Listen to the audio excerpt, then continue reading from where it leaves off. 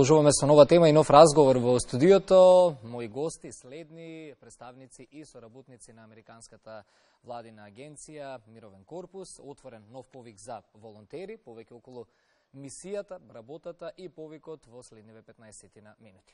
Добро утро за Драган Марковски, регионален менеджер, Бери Ломбард, волонтерка на Мировен корпус, во основното училиште Димката Ангелов Габерот во Кавадарци. Веќе колку време живееш во Кавадарци, Бри? А, веќе 7 и пол месеци. 7 и пол да. месеци го научи македонскиот јазик и Александра Филипова, соработник од училиштето. Добро утро. Добро утро. Драган, почнуваме со вас малку повеќе околу целите емисијата на Мировен корпус во Македонија. Да, добро утро, Ване. И пред се да ви се заблагодарам на можноста да, да, да поразговараме малку повеќе за тоа што ние го работиме со љубов, веќе повеќе од 25 години во во Македонија, така што накратко за за мировен корпус, она што го споменавте, ние сме владина американска агенција која што работи со волонтери и сме по покана на владата на Република Северна Македонија и постоиме веќе од 1996 година, што значи дека до сега имаме преку 800 волонтери кои што служеле на, во, во државата. во моментот мисијата, односно мисијата на, на Мировен корпус е да обезбеди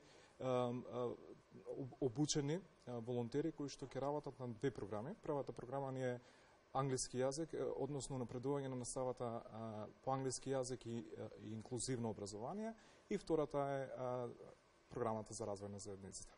Во двете програми, втората цел, извинете, само да додадам, е да локалното население подобро ја разбере американската култура и американскиот народ и на крај нели да имаме заемен диалог меѓу локалното население и американскиот, американскиот народ. Така. Бри, ајде малку околу твоето искуство тука. Oh. Како реши да се пријавиш нели за волонтер, знаеш ли каде доаѓаш? Кои се твоите впечатоци а, од да, целата работа? Да, а, моето искуство тука е одлично. Uh -huh. а, јас бев волонтерка прв пат пред три години и јас се вратав бидејќи јас сакав да ја продолжам мојата работа тука. Um, и јас живеам во убав град Кавадарци со едно македонско семејство. Um, јас учам нов јазик um, и учам за култури, културата. Не учиш ти веќе го познаваш македонски. јас учев пред три години и продолжив со јазикот. Добре. Да, кога си тука уште повеќе го, нели, учиш, да, да, комуницираш. со кој ден. а, Драган, ете брија само една од убавите примери на, на волонтерки кои што се тука кај нас. Каде се сместуваат ете со нивното доаѓање во Македонија? Колку време престојуваат малку тоа да го објасниме? Так, да. А, како што спомена и Бри, а, волонтерите се сместуваат во семејство домаќин. Uh -huh. а, кога доаѓаат првите три месеци поминуваат интензивна облука по македонски или албански јазик. А, и како што можете да приметите, дел од волонтерите веќе и доста го владеат јазикот, бидејќи алката семејство домаќин ни е доста важна во интеграцијата. Um, односно што е семејство домаќин секое семејство кое што сака да прими волонтер во период од две години, а, но минимум од 4 месеци, секако со одредена а, надомест за, за тоа, а, и го прифаќа како дел од семејството. А, волонтерите а, при тоа заедно со, со семејството нели учат за локалната култура, но и семејството учи повеќе и за американската култура, традиција и обичај, како и а, нели го вежбаат јазикот, локалниот јазик, а, под, а, учат а, повеќе за нашите обичаи, учат за на гости нели и сите останати нели обичаи, да. да така. Бриете, кои се твоите впечатоци од животот со македонско семејство? Да. Се работи за две диаметрално спротивни култури, различни држави. Америка е доста побогата, поразвиена држава. Доаѓате во мала, не е толку развиена земја.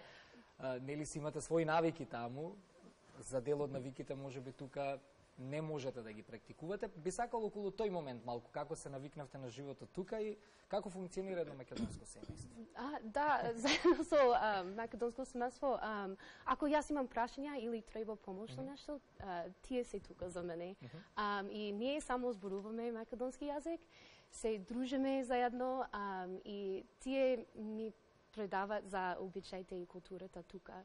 А, и а, јас живеам во првка, тие вторка и да. да, и ја мислам дека се прилагодувам за бидејќи од нив. да. Александра, со вас малку повеќе доаѓате од основно училиште, така, како, како соработник, малку повеќе околу искуствата кои што досега ги имате во, со волонтерите, која е нивната улога во училиштето? Па вака. Предходно имавме искуство со еден волонтер кој поради пандемијата мораше да се врати во низината земја.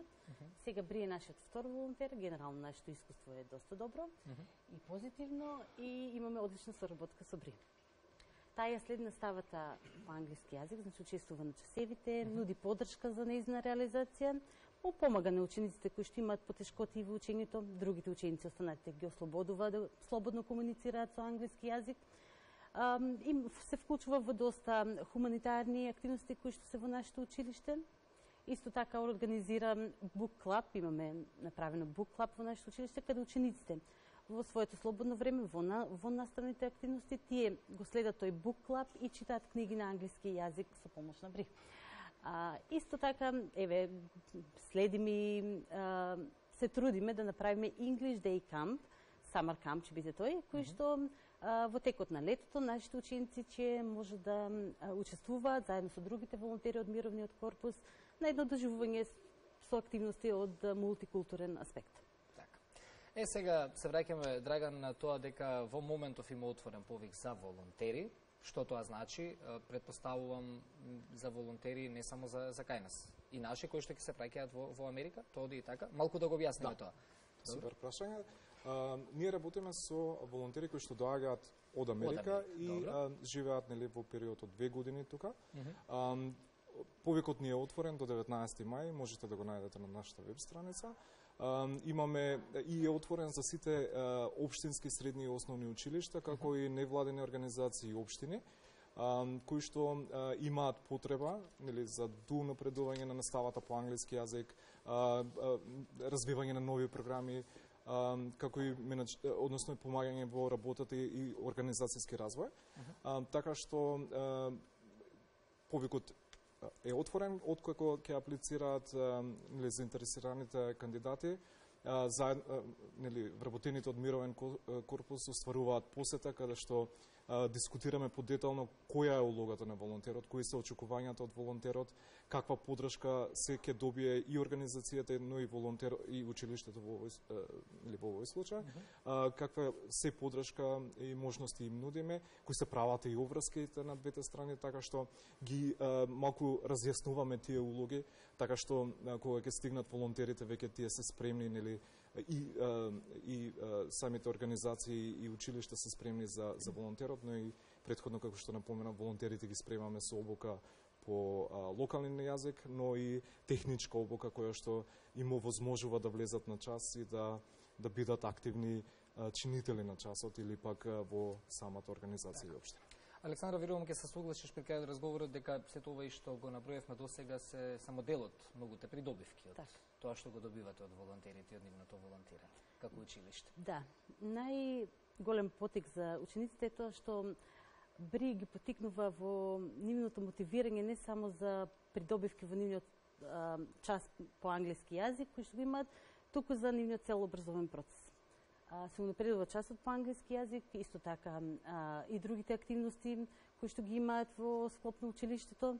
Така да мислам дека да имаш волонтер во, во вашето училиште е една многу а, позитивна придобивка. Сите волонтери се како бри, вака со убава енергија? Сите си ги бирате така. И сите вработени. да, да, дефинитивно. Јас добив подарок, еве вака, ова значи дека веќе станувам дел од вашето семејство еве имам подарок, убава мајчка, ќе си ја носам, не можев сега да ја облечам поради стајлингот, да знаев ќе облечам нешто полесно, ама ми рековте само ќе ви подариме мајчка, не знам дека треба да ја облечам, се извинувам, следен пат. Ви благодарам за гостувањето во Македонија на утро и верувам на се разбира успешно спроведен проект за нови волонтери. Благодарам. Благодарам.